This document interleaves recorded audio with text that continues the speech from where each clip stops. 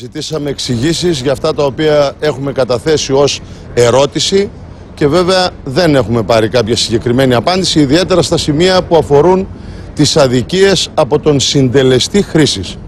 Από εκεί και πέρα η πρόταση την οποία κατέθεσα είναι να κρατηθεί για άλλον ένα χρόνο, να διατηρηθεί το ΕΤΑ μειωμένο κατά 10% για να πιαστεί και ο στόχος μπορούμε να μιλήσουμε και για φορολογία στις πολύ, στην πολύ μεγάλη ακίνητη περιουσία και να δοθεί ο χρόνος έτσι στο επιτελείο το οικονομικό να επεξεργαστεί ακόμη καλύτερα το νομοσχέδιο ούτως ώστε να μην έχει αυτές τις αδικίες για να μπορεί να περάσει.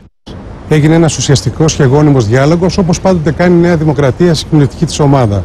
Καταθέσαμε τις παρατηρήσεις μας, καταθέσαμε διευκρινήσεις, ζητήσαμε κάποιες απαντήσεις και ο, ο Υπουργός δεσμεύτηκε ότι άμεσα θα τοποθετηθεί σε όλες τις παρατηρήσεις που κάνανε οι βουλευτές. Πρέπει να γίνει μια εξισορρόπηση στο θέμα των αγροτεμαχίων, στα οικόπεδα στους μικρούς οικισμούς και κύρια στα ηλεκτροδοτούμενα, μη ηλεκτροδοτούμενα διαμερίσματα.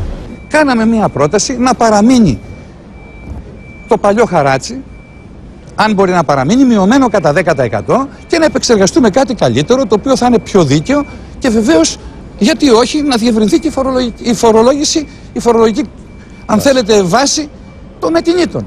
Αλλά αυτό έτσι, αν περάσει, θα είναι πραγματικά πολύ επώδυνο για την περιφέρεια. Και ειδικά για τα εγκατελειμμένα μικρά χωριά μας. Θα το ψηφίσετε, θα το ψηφίσετε. Θεωρώ ότι θα το ψηφίσουμε για θα εξορθολογιστεί δεν έχουμε την πολυτέλεια αυτή τη στιγμή να συζητούμε για άλλου είδους πράγματα. Εμείς στηρίζουμε την κυβέρνηση με όλες μας τις δυνάμεις.